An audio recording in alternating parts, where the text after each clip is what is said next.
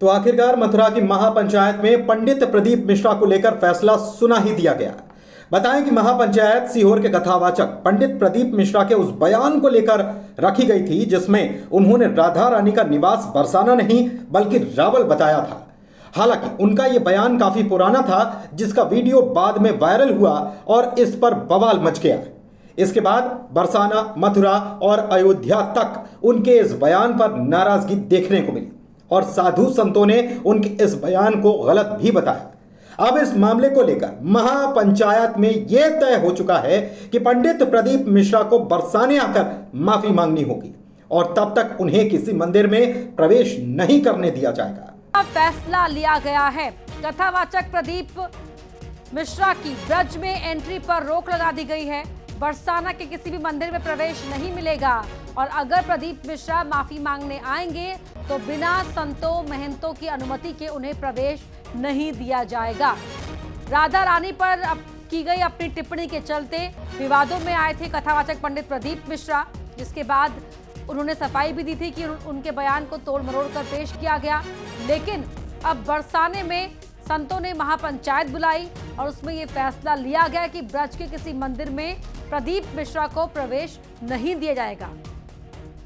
अगर उन्हें माफ़ी भी मांगनी होगी तो उसके लिए भी संतों महंतों की अनुमति के बिना वो ब्रज में प्रवेश नहीं कर पाएँगे। तो बड़ी खबर आपको बता रहे हैं, राधा रानी के जन्मस्थान को लेकर, श्री कृष्ण की पत्नियों में उनका नाम ना होने को लेकर विवादित बयान पंडित प्रदीप मिश्रा ने दिया था।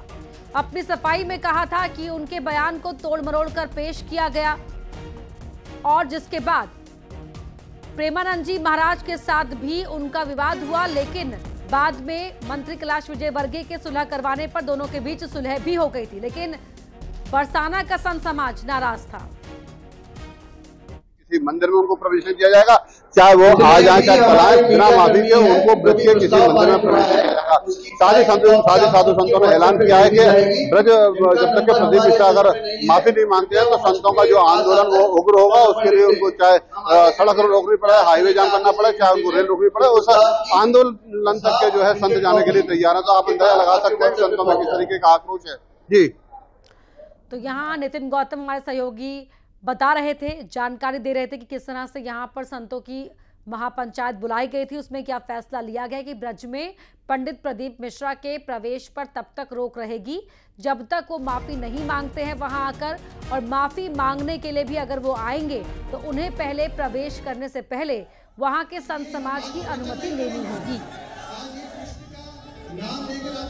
ब्रज के किसी भी मंदिर में जाने पर पंडित प्रदीप मिश्रा के रोक लगा दी गई है।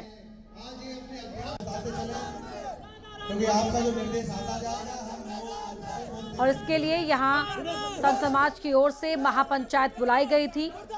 न सिर्फ़ संत समाज के, बल्कि आसपास के गाँव के जो मुख्य लोग हैं, वो भी इस पंचायत में शामिल हुए थे। और उसके बाद ये फैसला वहाँ लिया गया है कि ब्रज के किसी मंदिर में पंडित प्रदीप मिश्रा को प्रवेश नहीं मिलेगा।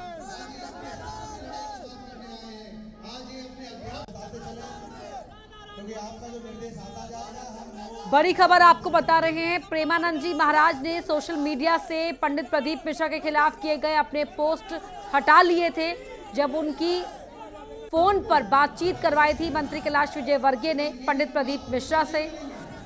लेकिन बरसाना का संत समाज इस बात से नाराज़ है कि अब तक पंडित प्रदीप मिश्रा ने यहाँ आकर राधा रानी से माफ़ी नहीं मांगी। और जब तक नहीं मांगेंगे, तब तक उन्हें माफ़ नहीं किया जाएगा।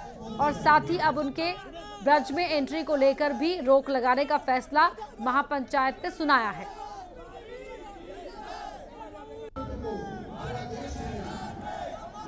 संत महंत की अनुमति के बिना पंडित प्रदीप मिश्रा को ब्रज के मंदिरों में प्रवेश नहीं मिलेगा। उन्हें माफ़ी मांगने के लिए अगर यहाँ आना होगा तो भी पहले अनुमति लेनी होगी। उसके बाद ही वो यहाँ पर आ पाएँगे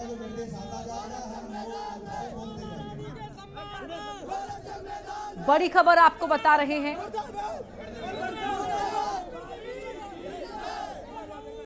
इतना ही नहीं, जानकारी यह भी मिल रही है कि बरसाने के लोगों के द्वारा पंडित प्रदीप मिश्रा पर फैसला किया जा सकता है। हालाँकि खबरें ये भी आ रही हैं कि पंडित प्रदीप मिश्रा बरसाने पहुँच सकते हैं माफ़ी मांगने के लिए। यानी कि मामले का पटाक्षेप उनके द्वारा हो जाए, इसकी कोशिश है।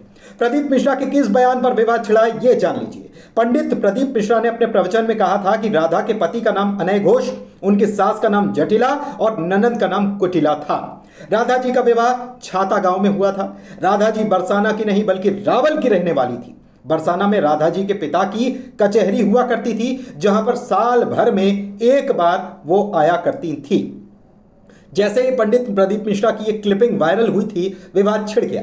तरह तरह की प्रतिक्रियाएँ सामने आने लगी। बरसाने के लोगों का गुस्सा फूट पड़ा। इसके बाद विख्यात संत प्रेमानंद जी महाराज ने इस बयान पर नाराज़गी जताई और बीती 10 जून को प्रदीप मिश्रा को जवाब भी दे डाला। उन्होंने कहा कि लाडली जी के बारे में तुम्हें पता ही क्या है? तुम जानते ही क्या हो?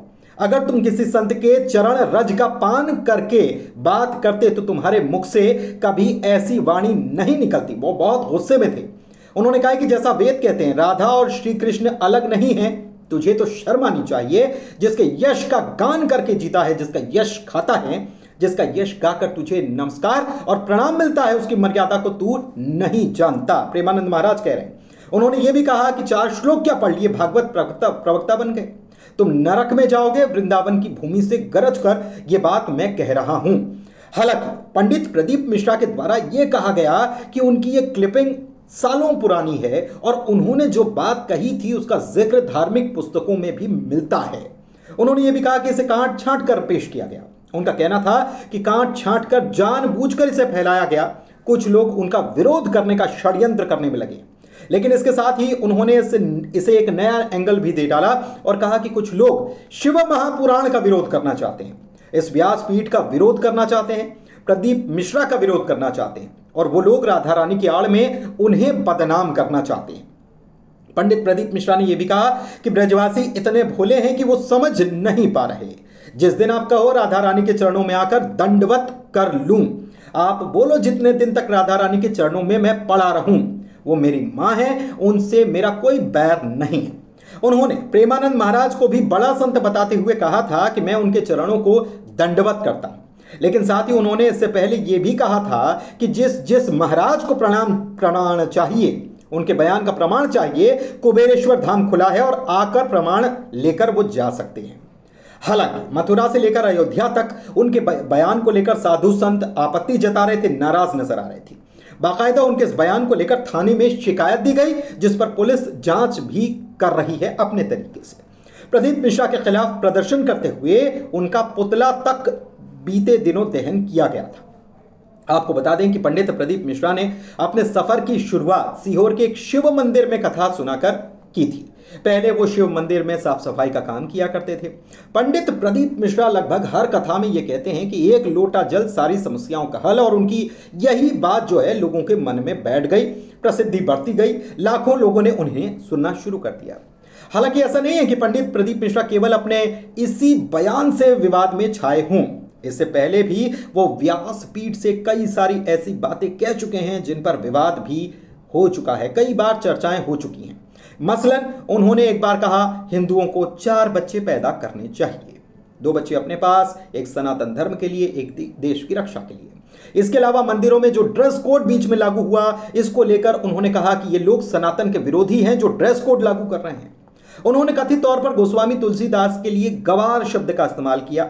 इसका वीडियो तो हाल ही में वायरल हुआ, जिसमें उन्होंने ये कहा था कि हमको कुछ नहीं आता, हम तुलसीदास जी की तरह गवार हैं।